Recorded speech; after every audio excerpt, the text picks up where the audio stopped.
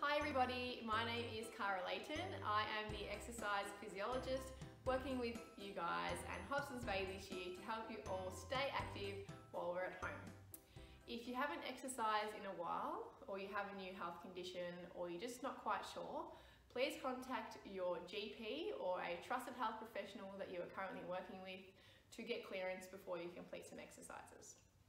Now before we complete our exercises today, we're just going to have a general chat about the benefits of exercise and the list is huge, it goes on and on and on. So firstly, the main points that include the benefits of exercise are improving our fitness, okay? Improving our muscle strength, improving our balance, which will then reduce our risk of falls and improve our mobility. So that means being able to walk around easier and complete our activities at home with ease, all right, which is all really, really important.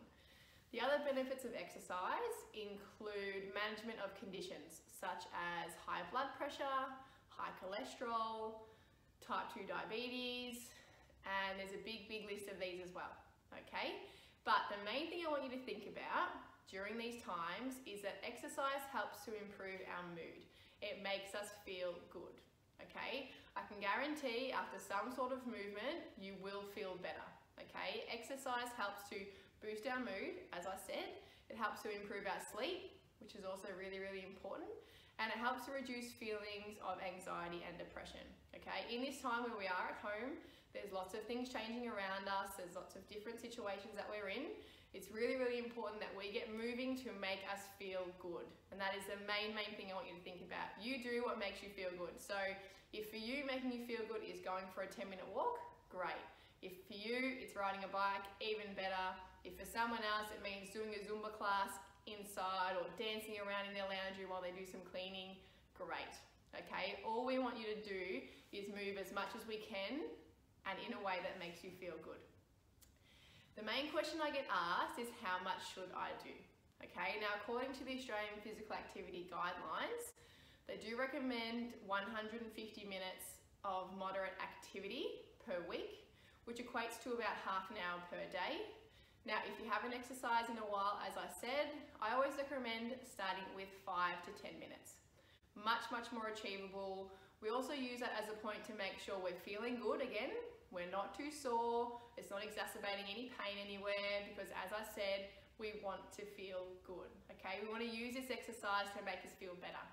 So if you can start with a 10 minute walk or a five minute walk up the street and back or around the block at home, that would be a great start, okay? If we can do our exercise outside, that's even better, okay? Because studies show that exercising outside also helps to boost our mood. So it's really, really good to help clear the mind and it just makes us feel a little bit better to get out into some fresh air. So if you can do the walking outside around the block, great. If the weather isn't really letting you do so, that's fine. Walk up and down your hallway or do some step ups at home. They're all really, really good ideas. Now, in terms of what we're doing today, we'll be doing a few exercises and as I said before, making sure that you feel nice and safe. I will give you two options. We'll be doing level one and we'll be doing level two. Now I recommend if you haven't exercised in a while or this is your first time exercising, please only complete level one exercises, okay? If you feel good after that, great, then next session or you can come back and visit this video again and you can try level two. But for today, please just complete level one. Throughout all of the exercises, please only complete them if you feel safe. If for some reason you feel a bit uneasy, just have a sit down and have a breather. Again, if you haven't exercised, please get clearance before you do so. So first thing I want you to get out of this video is exercise to make you feel good, okay? We wanna use it to make us feel good and make us feel better. Two, do what you enjoy. So if that means dancing in the lounge room or going for a bike ride, do whatever you like because I can guarantee if you enjoy doing it, you will. Thirdly, if you need some ideas, we will go through some exercises now, okay? If you need to pause this video right now, pause this video and grab yourself a chair. All you'll need today is a chair. Please do not have a chair with wheels. Make sure the chair is nice and sturdy, such as your kitchen chair or a desk chair, something nice and sturdy. Please do not use your couch, as I said, or any chairs with wheels. So a nice sturdy chair and we will get ready for some exercises.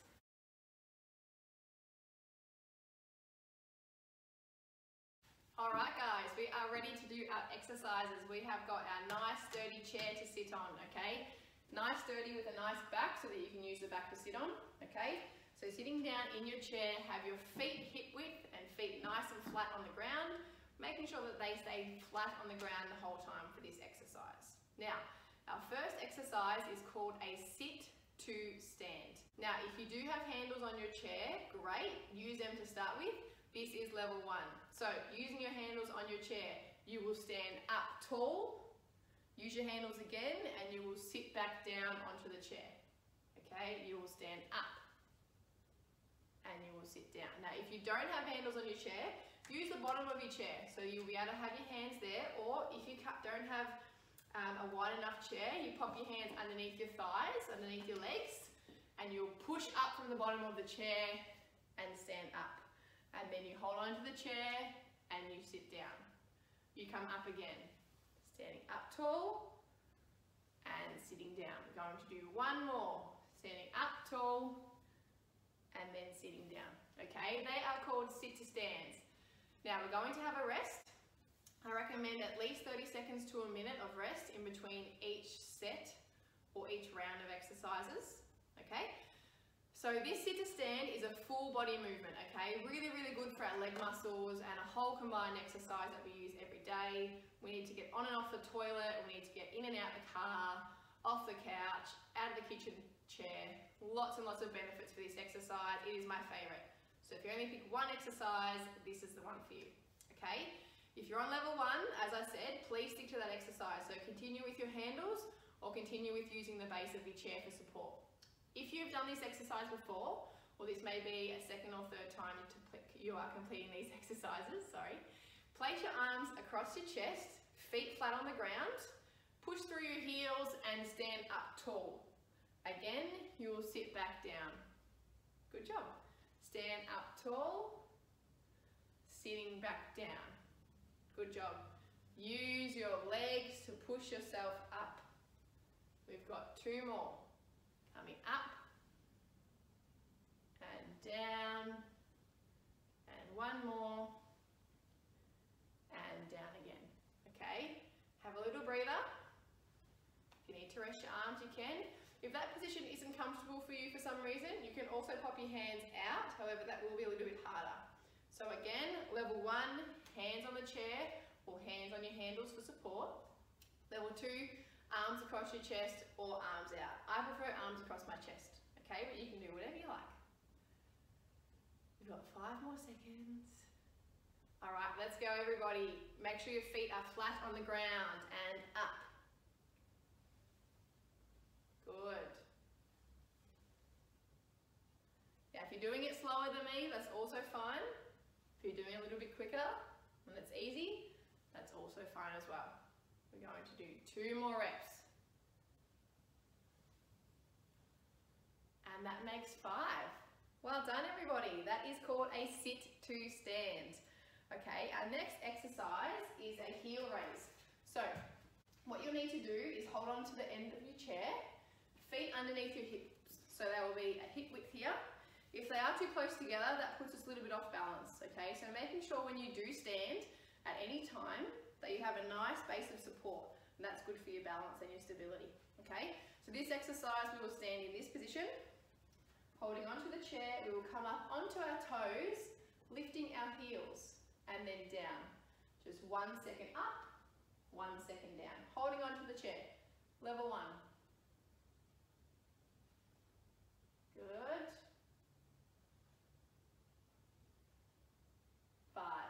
now you notice today we're just doing five reps. This might be the first time for you that you've exercised in a long time. So we need to start nice and slow and over the coming weeks we will make it a bit harder. All right, we rest again. Now, if you are level two, you can try with one hand or you can try with fingertips. So you only put your fingertips on the chair at the end rather than gripping the chair. You hold your fingertips and you come up or you can do one-handed. Okay, you pick what's good for you. But if you are level one, you must hold on to the chair. Coming up.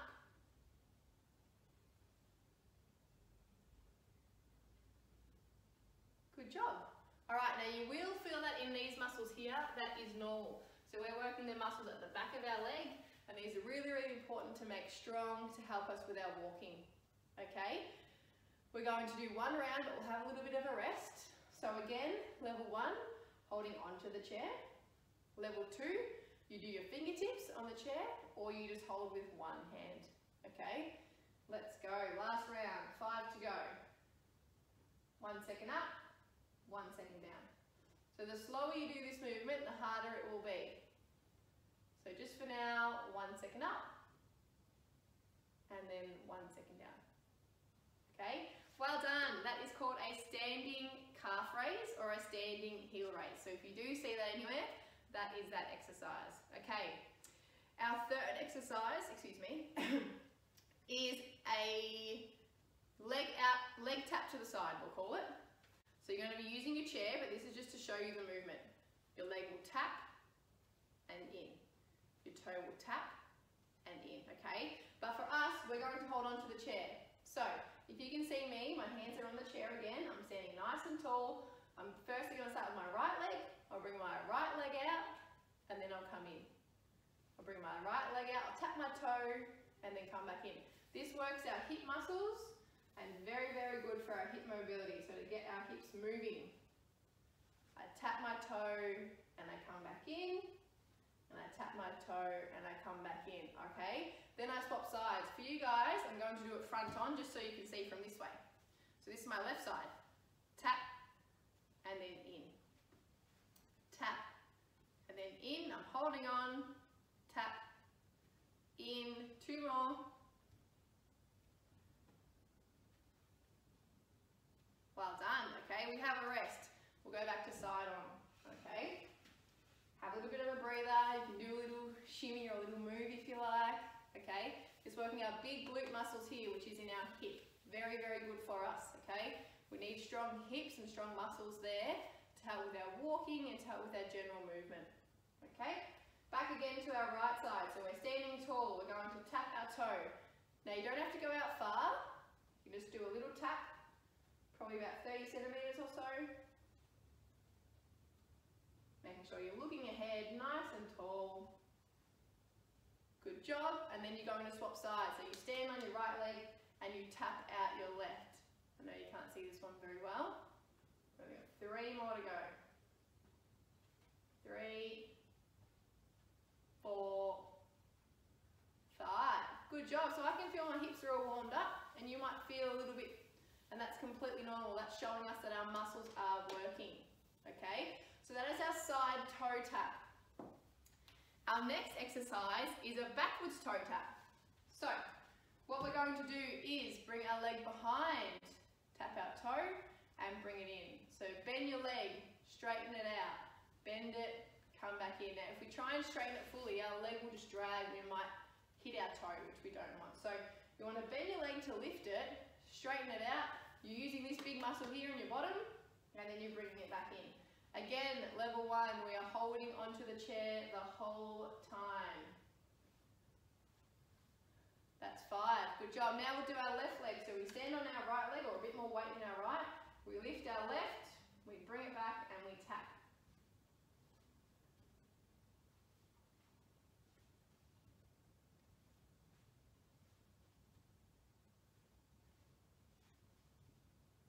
Good job. Okay, that's five on each side. Now, level one, as I said, is holding on.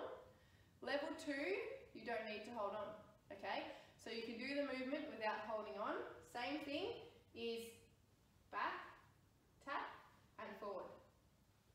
Back, tap, and forward. Now this will add in a balance component for you. So again, if you do feel a bit wobbly, you're making sure you're grabbing a hold of the chair once more. And rest. Good job. Now, if you do want to go from level one, you're thinking you might want to give it a go, again, you can use your fingertips. So this just means we've got less upper body support. So we use our fingertips. Now we're doing our left leg. Our left leg comes back. Good job. That's three, four, five. Well done. So that's your toe tap back. All finished. Very, very good.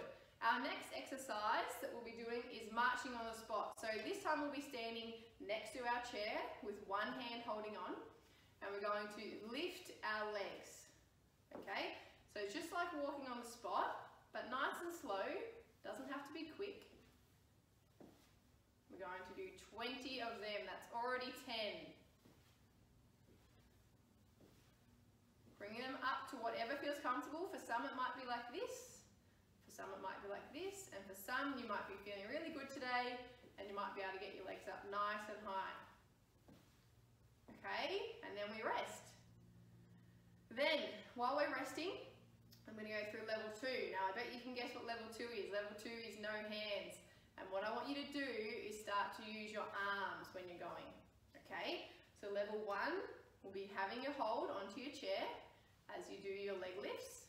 Level two will be Walking, you can either have your arms down or if you want an extra challenge, you're going to go with your arms as well. Okay, so we're going to start now. Level one, level two, no hands. Or if you want a challenge, you've got some big walking on the spot, marching.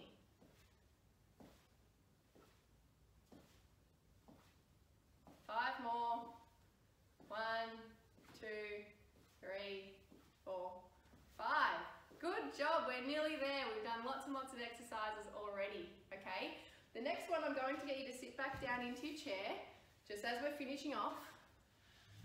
And I'm going to get you to do some ankle circles. So lifting your leg up and circling your foot around. Now nice and slow, five one way, and then stop. And then try your best to go five the other. That's the tricky one. Good, and then other side. Now if it is too hard to lift your foot, that's fine. You pop your heel on the ground and you do the same thing. Stop, other way. Alright, so you pop your heel on the ground and then you do your circles as your heel is on the ground, okay? But for today we're going to do them up. Alright, shake your legs out. We've nearly finished our exercises for today.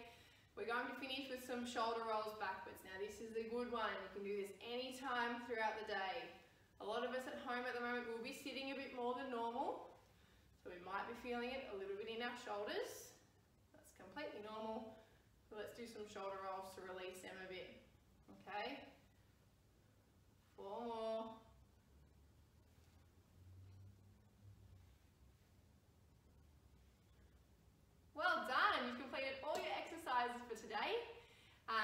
If you have any questions, please feel free to contact us. However, again, as I said, please make sure that you do your exercises safely. Make sure that you contact your health professional or your GP before you exercise so that you are safe to do so. Make sure you have a nice, safe chair. If there is someone home, make sure someone's home when you are doing your exercises and take it nice and slow. Now, if you need to, you can always come back to these exercises and do them again. I would recommend if it is your first time, not to do the exercises tomorrow, maybe go for a little walk and then try your exercises the next day just to prevent you from being sore if you may be. Okay? I hope you enjoyed today's session. I will be coming back to you over the next coming weeks. So please come back and say hello. Thanks guys. My name is Kara Layton and I will see you soon.